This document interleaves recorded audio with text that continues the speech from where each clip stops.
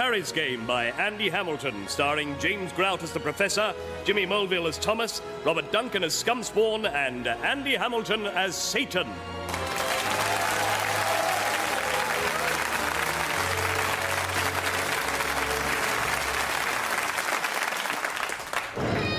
Ta-ta-da-da, don't panic, it's only me, Satan, Prince of Darkness, and all-round tasty geezer, in it respect.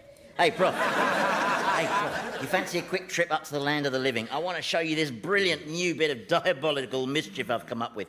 It's a new self-help book that I've written and published. It's called You Are Special, Everyone Else is a Git. I've sneaked it into all the bookshops and it's selling like Viagra at the Derby and Joan Club, I'm telling you. The global selfishness index has soared to an all-time high. What, what, what, what's Thomas doing? Well, he's doing a bit of writing of his own, actually. He's writing. Yes, creative writing. He's trying to write a poem. This is hell, not evening classes. Damned aren't allowed to do creative writing or creative anything. You are here to experience infinite suffering. That excludes hobbies of any kind, with the possible exception of golf. As that is a form of infinite suffering. And, and where did you get the pens and all these notepads? Where did you get them? What? Uh, well, we, Uh, well, um, we, well, we, we, we- we'd rather not say. That's right, yeah. Oh, oh, you'd rather not, eh? Then presumably you'd rather I filled your sinuses with fire ants. And then, oh, I get it. Scumspawn! Did you call my prince beacon of my existence and reason for my being? Shut it. Uh, consider it shut, my liege. Now, think, think carefully, Scumspawn. Did you, by any chance, furnish the Professor and Thomas here with pen and paper? Uh, yes, I, I provided them with writing materials. Ah, but that was my fault, you see. I, I felt that writing would be good for us, especially Thomas. So I asked Well, why would writing be good for you? Well, you know, a sort of cathartic therapy. You see, I've always rather envied writers. I think the act of writing must give them a tremendous amount of peace and solace. You've not met many writers, have you? Well, no, no. Yeah, well, I have. And do you know what writers are? Writers are miserable, grudging drunks who just happen to know a lot of words. They're not seeking solace. No, no. As far as they're concerned, writing's an act of revenge. Revenge against who? Everybody. Everyone who isn't them and who fails to realise what a genius they are. If they weren't writers, they'd all be serial killers. I- I'm sorry if my supplying stationery angered you, my lord. Well, I would have been angry, Scumspawn, if it wasn't for the fact that the professor here is completely wasting his time, as Thomas has got about as much poetry in him as Anne Widdecombe's left buttock. I resent that. Well, have you written anything yet, Thomas? No. I- I've tried to sort of let my subconscious roam in an imaginative way, but then I just, I just end up screaming obscenities. Mostly about Alan Titchmarsh for some reason. Oh, well, it's early days yet. I mean, we've got loads of time. Well, we've got all of time. And I've been reciting chunks of my favourite poems to try and inspire him. You know, Wordsworth, Donne. Yeah. And my own favourite, W.B. Yeats. Yeah, fascinating. And what rough beast, his hour come round at last, slouches towards Bethlehem to be born? That's you, that is. What? Well, you're the rough beast slouching towards Bethlehem to be born. Says who? Well, it's obviously meant to be you. The poem's called The Second Coming, and what other rough beast could be slouching towards Bethlehem? Well, could be a camel. Camels lollop, they don't slouch. Well, perhaps it's a teenage camel, I don't know. Anyway, I don't slouch, right? My posture is extremely good, considering I have to bear the weight of these sudden great horns. It's only willpower that stops my legs from snapping. Well, I don't know why you're getting so worked up. It's only a poem. It's gibberish. And another thing, how can I be slouching towards Bethlehem if I haven't been bloody born yet, eh? Answer me that. It doesn't make sense. Well, I suppose that's what's called ambiguity. No, no, no, no. Poets call it ambiguity. In the real world, that's called sloppiness. So you're not keen on poets then? No, well, they've been getting away with it for too long, haven't they? And writers, all these storytellers who just make things up because they feel like it. You know, when Dante arrived down here, the first thing I did was I said, Dante, I said, take a look around. Do you see any circles? No, he said. Good. I said, now get inside that keg of dog vomit. Yes, but surely the circles were just Dante's allegory for man's spiritual struggle. You do know what an allegory is, I take it? Yes, yes, I do. An allegory is what you resort to when you can't be bothered to find out the facts. it's not just Dante. I'm always being inaccurately represented, traduced, defamed. It's happening even as we speak. Come on, come on, I'll show you. It's a film set. Yeah, yeah, yeah, yeah. And over there, look who's playing me, Satan, Lord of the Underworld. Just look, look. It's a girl. It's not a girl, you old fool. It's Leonardo DiCaprio. Oh, I'm sorry, the lighting's not very. Did uh, you see him in Titanic? No, I died before that film came out. Oh, then you were one of the lucky ones. Is that me? Look at him, I ask you. A podgy, pretty boy who looks like a prepubescent Norman Lamont. I mean, mind, mind you, he's, he's just the latest in a litany of total miscastings. I've been portrayed by Brad Pitt, Jim Carrey, Ian McShane. Ian McShane, I've been played by Lovejoy. Mephistopheles with a mullet, honestly. then there was Al Pacino, Liz Hurley, and Estee Lauder girl. That's an insult, you know. I mean, I didn't mind Jack Nicholson, because he's my kind of guy. And, and he's got my eyebrows. Still, looks like they're going to have to abandon shooting in a second. Why? Well, I think Leonardo's going to have to take a little break because, uh, well, because I just feel his wife runs with puff adders.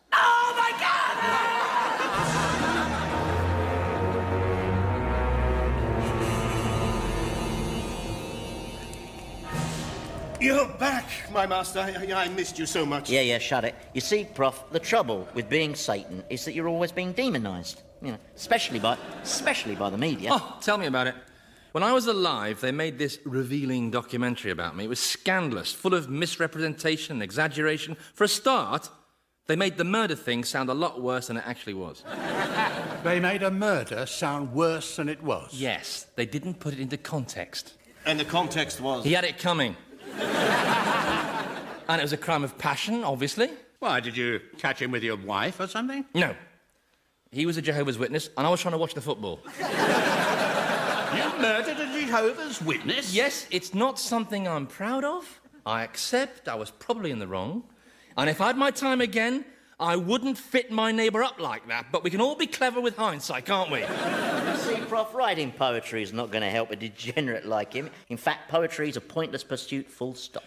Why do you feel so threatened by the idea of poetry? Oh, it takes more than the poem to scare me, mate. I tell you. There's something that makes you feel uncomfortable. Something about the ambiguities. Listen, words should mean what they mean. That's what words are for. Once words start meaning more than one thing, it's not a language, it's a lottery. But what is it that bothers you so about the idea that you can't absolutely pin down the meaning of something? Well, you started it with that stupid W.B. Yeats gibberish about the, the, the prenatal sloucher on his way to Bethlehem. I mean, what is he on about? Well, I suppose that has to remain a mystery.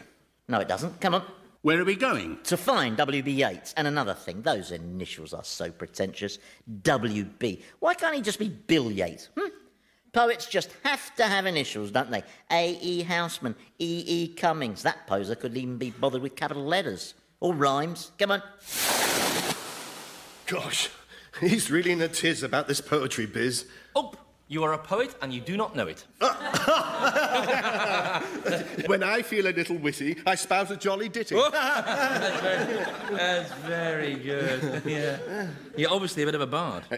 You know, Satan forgot to confiscate the pen and paper. I know. Um, do you think you could help me with my poem therapy as a friend? As a. Yes? As a fr- as a fun thing?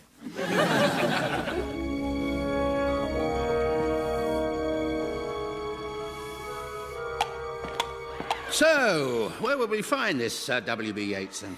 Oh, you'll be in Poets' Corner, which is uh, just the other side of this section. And what's this section? Uh, the writer's block. You mean these poor souls are all writers? Yeah, surely you worked that out from the clouds of dandruff. My goodness. So, do most writers end up in hell? All writers end up in hell. Because they not only live bad lives, they imagine bad lives. You can't get more depraved than that. So they have to be punished. And this is their punishment block, where all writers are tormented by their own creations. Oh, my God. Yeah. Over there, you can see Charles Dickens being eternally beaten up by Bill Sikes and a horde of lisping orphan cripples, whilst receiving groundless reassurance from Mr. Micawber. Fear not, young sir, you're just waiting for something to turn up. Yeah. Uh, and down there is Flaubert, chained to a Madame Bovary, who just keeps whittering on about how dull provincial life is. Uh, oh, and to the right, you can see the great Ernest Hemingway, trapped in an eternal bullfight. Uh, well, fight is possibly not quite the right word. But that bull must be 30 feet high.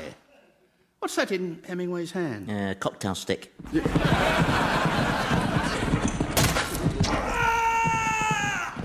And you mean that just keeps happening to him over and over? I mean, that is horrendous. Yeah, although I always get this funny feeling that Hemingway quite enjoys the challenge, you know. now, to our left there, you can just make out the feet of J.M. Barrie disappearing into that ticking crocodile. Over there, besieged by an army of bullying aunts, is P.G. Wodehouse. And over there, well, you probably don't want to see what Mellors the gardener's doing to D.H. Lawrence. Oh, my God, was that him? No, no, no, that was two screams. No, that's the Brothers Grimm being pursued by a psychotic witch made out of gingerbread. Oh, this is vile. Oh, thanks very much, yeah. My demons love playing the parts of all these fictional creations, though they do tend to fight over whose turn it is to be Moriarty and chase Arthur Conan Doyle with the massive painted dog. Oi, I know you, you poxy great pillock. you remember Jane Austen, Professor? Yes, I do. Uh, you've introduced me to her before. Yeah, Jane Austen's torment is to be surrounded by silly relatives and unreliable army captains. But the demons taking on the guises end up with a lot of bite marks. Yes, she does seem rather aggressive. Do you want some? Leave it, Jane, leave it. to drink, I think. Let's see who else have we got. Uh, oh, yeah, there, Lewis Carroll in a new Wonderland, where he's being persecuted by the Mad Hatter, a March Hare, and a panicky white rabbi. Which I suspect may be an administrative error. I'm late. Oy vey, but I'm late. And, um, oh, and, and this is Noel Coward. Oh, stop it, dear boy. You're so terribly, terribly frightening. Yeah. And, and he's being confronted by Godzilla. But Noel Coward didn't write Godzilla. I know, I got bored. One of the most promising QCs in the country. You're terribly shy with women. You were editor of the Express, if I remember correctly. Yes, one of seven in the last eight years. Oh, why are they talking like that? Oh, these demons are portraying characters from a Jeffrey Archer novel. Be curious about why I place such importance on this scrap of useless paper. Mind, it's not easy. You will be With no commas and all those to wonder why subordinate clauses Archer writes, they tend to hyperventilate and black Same out time, risk international embarrassment should you fail to. Like that. And are they here ready to torment Archer when he arrives? No, no, they're to torture the writers already here. Yeah, I torment them with Archer's dialogue uh, and his sales figures. anyway, I don't want Archer coming down here, lowering the tone, barking out tall tales about how he was the youngest viceroy of India ever to win Olympic gold in the 200 metres hurdles while simultaneously splitting the atom. Yes, he does live in his own strange world of fantasy. Yeah, trouble is he tries to make the rest of us live there with him. now, come along, Prof, you're dawdling. Come on. Well, how much further is it to this poet's corner? Oh, not that far now. If you listen carefully, you can just hear the sound of Wordsworth being savaged by a thousand carnivorous daffodils.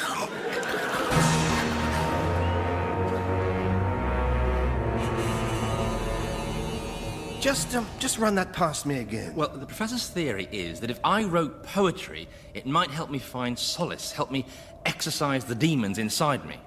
I mean, they're not real demons, obviously, I'm talking figuratively. Right. Though you have had real demons inside you. Yes, yes, yes. I'd, I'd rather not be reminded of that if it's all the same to you. It's all, it was all rather harrowing. Uh, that was Satan at his most cruel, I'd say. Apart possibly from that time he made you strip naked and then fry that very fatty bacon. Yes, yes, yes, yes, yes. I, I'd rather not be reminded of that either. Thank you. So, um, have you written anything so far? Well, I've managed one effort, but I don't think it's any good. Oh, come on. I'm sure no, no, no, no. It's. No, let's hear it, No, come no, on. no, no, I can't. Oh, please, No, I hear sorry, it. I can't. All right, fair enough. Oh, very well. Look, you twisted my arm. it goes like this. My poem. Hate, hate, hate, hate, hate, hate, hate. Hate, hate, hate, hate, hate, hate, hate. Hate, hate, hate, hate, hate, hate, hate, hate, hate, hate, hate, hate, Alan Titchmarsh.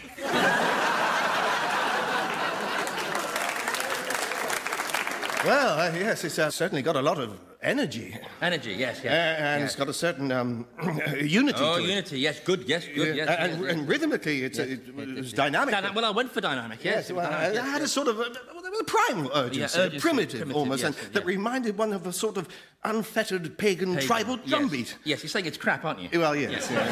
Um, but you know, it's interesting crap. I- I mean, why this obsession with Alan Titchmarsh? I don't know. I give free rein to my subconscious, and that's what popped out. Perhaps subliminally, I hate Titchmarsh because somehow I feel he's all that stands between me and Charlie Dimmock. I don't know. but that's the best I could come up with, and it's pathetic.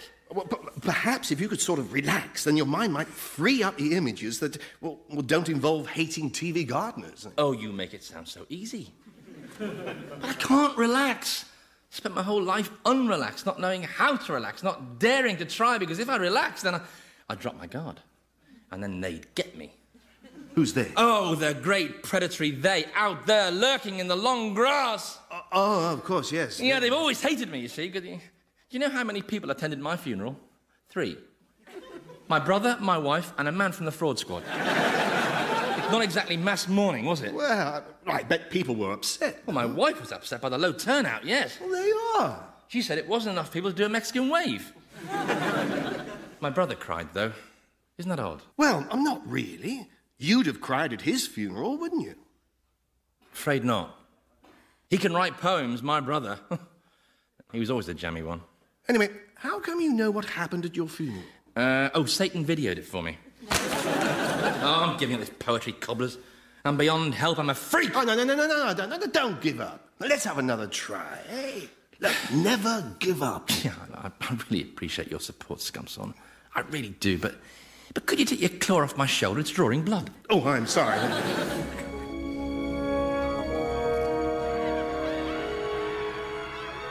Oh, haven't we reached Poets' Corner yet? Yeah, this is it. Can't you tell? The screaming's got much more effeminate. Now, I'm just looking for your W.B. Yeats code. Oh, good grief, a tiger. Yeah, yeah. He's quick, that William Blake, isn't he? And what are those demons doing? Looks like some kind of party game. Yeah, they're playing Blind Man's Buff with John Milton. In, in the buff. Serves him right. He made a fortune out of me with his Paradise series Paradise Lost, Paradise Regained, Paradise Fell Down the Back of the Sofa. And... Oh, but what poetry, eh? Miltonic verse has got such music to it. Wasn't it him who wrote, They also serve who only stand and wait? Well, that's not true in shoe shops. ah, ah, found him, W.B. Yeats. He's being tormented over there, see? Oh, which one is he? Uh, the bearded one with his mouth taped shut. well, that's not much of a torment. It is if you're Irish. Now, now then, I'll just, uh, I'll just take it off. Oh, look at the hairs on that. Now then, Bill, this is the professor.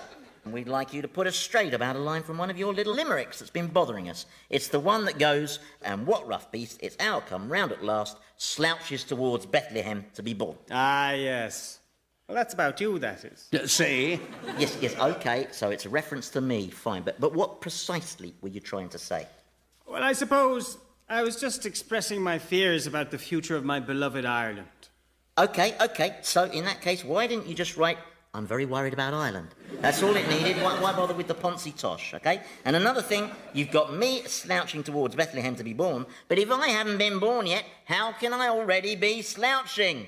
Yes, that does look like a contradiction, doesn't it? So why did you write it? I've no idea. Oh, thank It just came out like that. You see, Prof, they're all drivelmongers. You see, when you're writing poetry, you often draw on imagery and language that seems to stem not from any rational process, but from some uncharted territory that lies somewhere between the maelstrom of the emotions and the controlling tyranny of the mind. Yes, yes, I know. Uh, Similarly, of Yeah. course, the reader responds in a highly individual, Individual, way yes. that is a complex dance of subjective interpretations, all personal and intense, and all sheltered beneath the shimmering cloak of ambiguity. Does that clear it up for you? um, you seem to have boiling tar coming out of your nose there. You'll be wanting a hanky, I reckon. I'm Satan, I do not carry a hanky. I'm afraid he gets a bit cross when people talk about ambiguity. Well, I've always felt that ambiguity is like some secret music that only your soul can hear. Oh, look, the tar's coming out of your ears as well now. and your eyes are glowing orange. Sure, there's a strange, terrible beauty about it. Yes, actually, if you don't mind, I think it's probably best if I tape your mouth shut again. Trust me, it's for your own protection.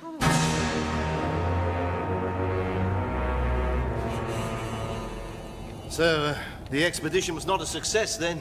Well, I found it interesting, but Satan went into a real grump about it all. Where is he now? I don't know. He flew off muttering something about firebombing Riverdance. oh, I see you've managed to write something, Thomas. Yeah, it's probably rubbish. Oh, let's hear it. I think it's very good. Oh, come on then, Thomas. It's called Them. I know they are out there lying in wait, their eyes gleaming bright with fury and hate. Their gaze is fixed on me, their prey, through the long sweat of night and the mad race of day. And I'm transfixed by the thought they're all the same, each predator's face identical to the other. And I know that man. I know who he is, for it is the accusing face of Alan Titchmarsh. I mean, I mean, the ending still needs a bit of work. You know, you know. Yes. Uh, no, no, no. Well done. It, it's got energy. I can't quite get past the Alan Titchmarsh thing. Don't know why. Well, that's the mystery of the creative process for you. I, have written a poem as well, Professor. I'm really getting into this poetry lark. Oh, good. Who's, who's your favourite poem by? Oh, a man called Henry Francis Lyte. He wrote Abide with Me. Oh, what, the thing they sing at the cup finals before the parachutists land in the centre circle with purple smoke coming out of their ankles? Yes. I think the Cup Final Association is why I find it so moving. I remember singing it in a huge packed crowd at Wembley Stadium. And a man in a white coat, northern chap, he used to stand on a tower in the middle of the pitch and lead us in the community singing. And he used to call out each line as he got to it. And the whole crowd sang. A hundred thousand people, jammed so tightly that if you got taken short, you had no choice but to pee down a rolled up newspaper and hope that no one noticed their leg was soaked in urine. ah, yes, all that's been lost now. Yes, yes. It's the young people I feel sorry for missing out on a unique experience like that. I think it's the simplicity of the words I find so moving. Abide with me. Fast falls the eventide. The darkness deepens.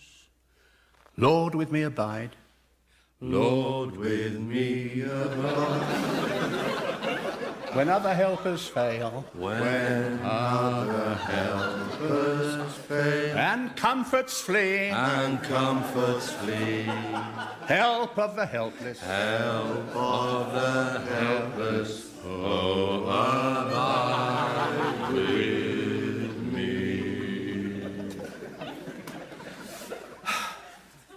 I didn't see you there. Yes, well, well, I was attracted by the sound because, funnily enough, hymns aren't something you hear very often in here. And, uh, and it must be all ages since songs of praise paid us a visit. Now, listen, before you start picking on anyone, this was my fault. I started it. Oh, I don't doubt that. Yeah, relax, Professor. I'm in one of my sunny moods. Yeah, I've just enjoyed a therapeutic little trip back to that film set. Sadly, the production seems to have run into a few problems. Yeah, the studios had to sack the producer, the director, and the writer. Well, I suppose you orchestrated that. No, that's just what happens on movies. But I might possibly have had something to do with Leonardo DiCaprio's inconvenient bout of leprosy. Oh! So, all in all, I don't think that picture's going to. What's that you're holding, Scumspawn? Well, what? Uh, uh, nothing, my lord. No, it's a piece of paper with writing on it. Is it? Oh, yes. Uh, it was just uh, mindless doodles. What is it? It's nothing. It's nothing at all. I... What is it? I command you to tell me. It's a poem. I don't like poems. Who wrote it? I wrote it, it was me. Yeah, that's right, it was him. Tear it up, Scum Scum. Tear up my dreadful poem. In other words, Scumspawn wrote it. Yes, my lord. I... I'll tear it up. Read it. It's rubbish, my liege. I don't- said, read it. Very well, my prince.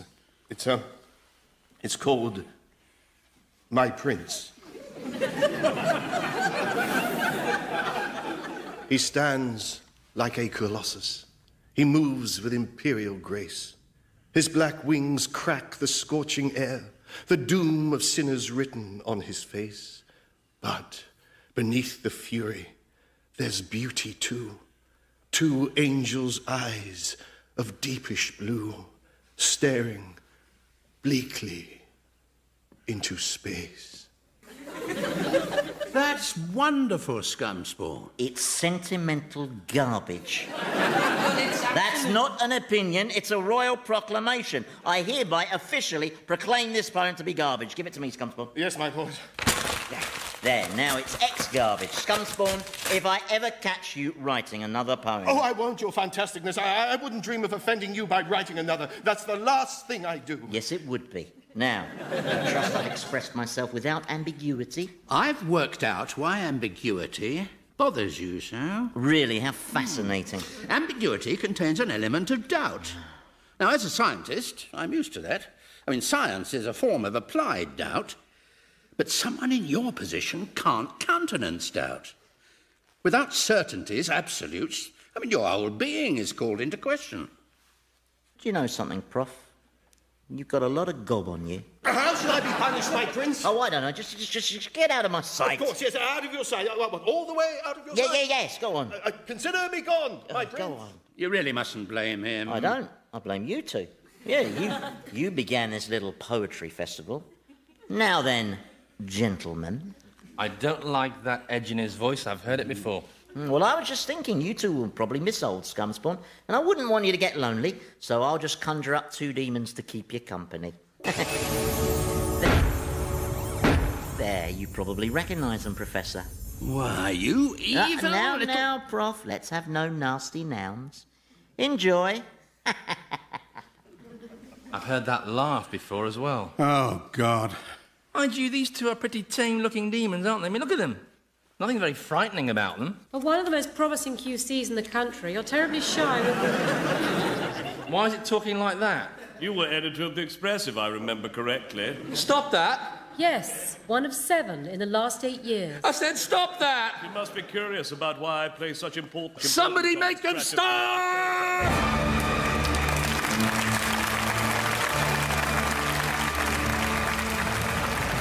Old Harry's game featured Andy Hamilton as Satan, James Grout as the Professor, Jimmy Mulville as Thomas, and Robert Duncan as Scumspawn, with Felicity Montagu, Philip Pope, and Michael Fenton Stevens. The programme was written by Andy Hamilton and produced by Paul Mayhew Archer.